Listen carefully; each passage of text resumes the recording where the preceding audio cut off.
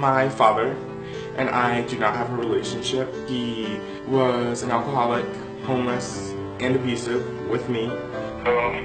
Hello? Yeah? Is this James Butler?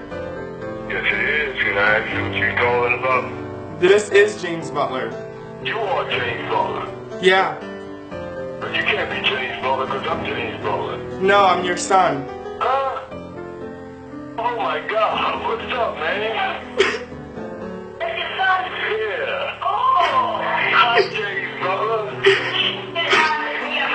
How's it going? I'm glad to hear from you, man. I miss you. I miss you too, man. I'm so... Damn, man. I'm so proud of you, man. Thank you.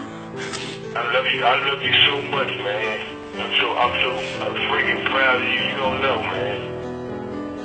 Thank you so much.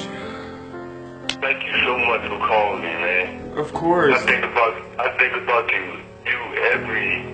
I mean, I'm not saying it's just a shame because it's cliche or whatever, but I do. I think about you every day. You, you know, what's going on with you and stuff like that because I know, you know, your is, you know, is uh, it's pretty tough. Mm-hmm. You know, and um, and I'm proud of you, man. 'cause You got, I mean, you, you just man, what you wanted to do, man, and, and you're doing it. That's good to hear.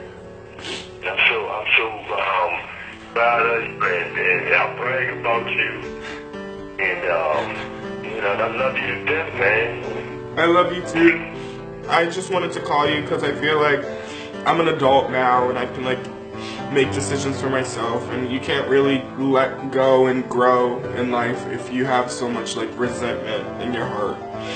And I just Yeah. I'm at a time in my life where I just want to forgive and move on and talk about things because they still need to be talked about, but at the same time move on and grow and because I already lost one of my parents, and I don't want to lose another one without having a relationship with them. Great, that's fantastic. But I, I, I, know, I know. Um, I took you through some difficult times, and uh, I'm sorry for those times and whatnot. But I ain't trying to find no excuses and whatnot. You know, I wasn't very right, I never stopped loving you. I think that I did turn out well because even though life has been hard, I feel like if life was easy, I wouldn't have been as strong as I would.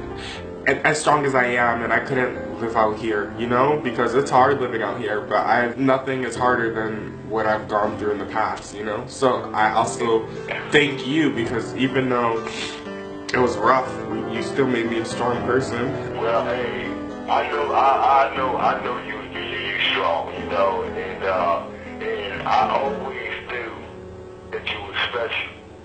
I just got myself relatively together, got over that alcohol, you know, staying up here with mama now. I got a job coming up in uh, a couple of weeks. That's good. I love you so much.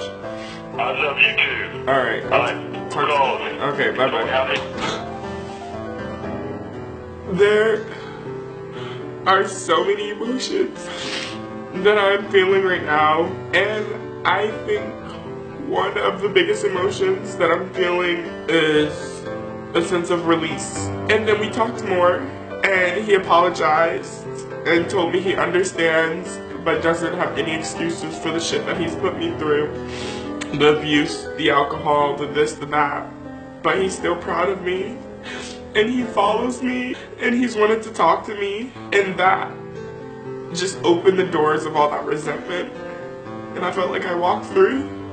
And by the end of the phone call, I felt like I loved my dad again. A hint of thought for you that if there's anyone in your life that has done you wrong, treated you wrong, put negativity into it, even though it's hard, it, like it took me like nine or ten years to ever speak to him and hear why he did what he did. There's usually a reason, and give the person the chance to.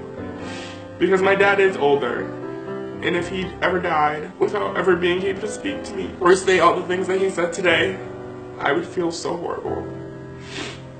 So, I think there's so much shit going on in the world right now, but the only thing that we need right now is love.